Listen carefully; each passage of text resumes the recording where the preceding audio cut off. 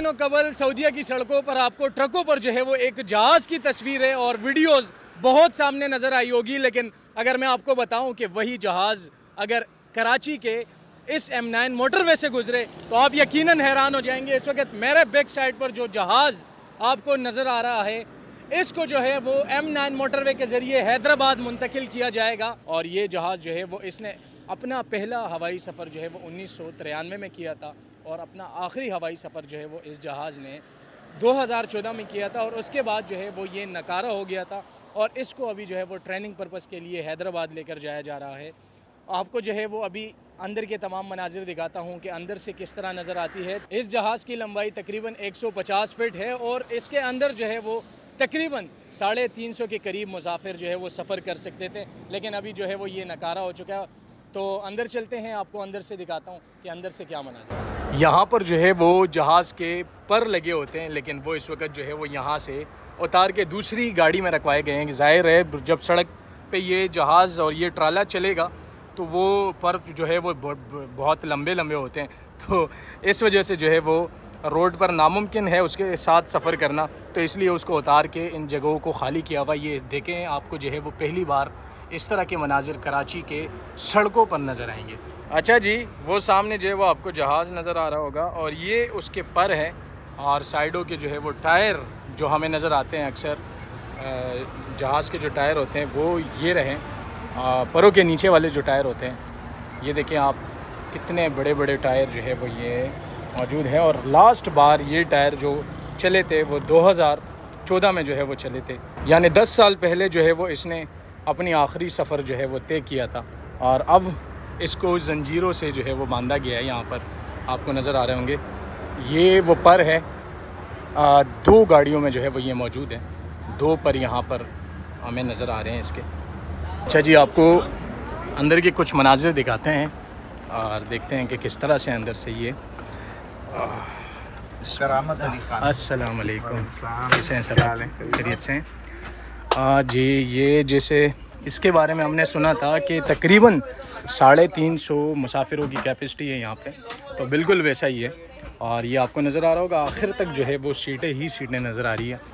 और आज मतलब ये एक नकारा जहाज़ है जिससे कराची से बरास्ता जो है वो रोड के ज़रिए हैदराबाद मुंतकिल किया जा रहा है। ये आपको अजीब सा लगेगा कि रोड पर जहाज़ मौजूद है। इस तरह का रनवे जो है वो आपने कभी ज़िंदगी में नहीं देखा होगा, लेकिन कराची में जो है वो कुछ भी मुमकिन हो सकता है। ये जी इस वक्त मैं आपको वो पायलट रूम दिखाता हूँ जहाँ पे जहाज़ के पायलट बैठते हैं और यहाँ से जो है वो पूरे जहाज़ को कंट्रोल किया जाता है। ये आपको नज़र आ रहा होगा। ये, बेटा एक सेकंड अच्छा ये मेरे सर पे जो है वो ये बटन्स लग रहे हैं, क्योंकि स्पेस यहाँ पे छोटा है।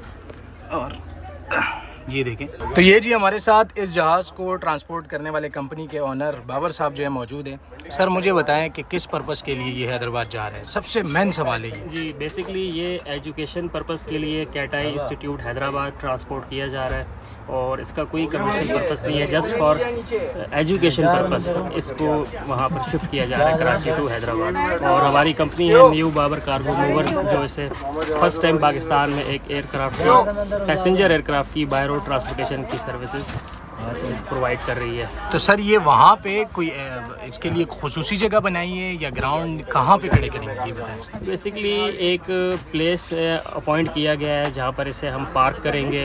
इसकी कराची में डिसमेंटलिंग हुई है प्रॉपर इसके विंग्स फिन इसके तमाम पार्ट्स को डिसमेंटल किया गया है और हैदराबाद इंस्टीट्यूट में जाके दोबारा इसकी रीअसम्बलिंग होगी। चलें सर बहुत शुक्रिया। ये जहाज़ तकरीबन अब जब यहाँ से रवाना होगा तो बीस किलोमीटर फ़ी घंटा के रफ्तार से जो है वो ये चलेगा हैदराबाद की तरफ़। और तकरीबन जो है वो रात तक ये जहाज़ हमें हैदराबाद में मिलेगा। मुझे ये बताएँ अब जब ये यहाँ से रवाना होगा तो कितना टाइम लगेगा मुझे ये बताएँ सर? इंशाल्लाह हम शाम तक पहुँच जाएँगे पाँच से छः घंटे में। उम्मीद है कि हम कराची के निकलेंगे और हैदराबाद बाईपास पे पहुँच जाएँगे। सर ये आइडिया कैसे आया मुझे ये बताएँ? यूनिक आइडिया है। ये आइडिया यहाँ पे था कि पाकिस्तान में भी इसकी शिपमेंट मूवमेंट करनी चाहिए।